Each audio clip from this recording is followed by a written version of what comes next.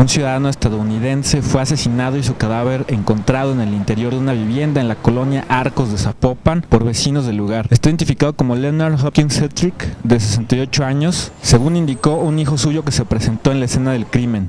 En el interior de domicilio localizan una persona ya oxisa, ma- man- maniatada y pues en el interior de domicilio.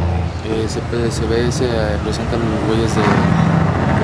A simple vista no se le aprecian únicamente porque está amarrado con una soga lo que es pies y manos.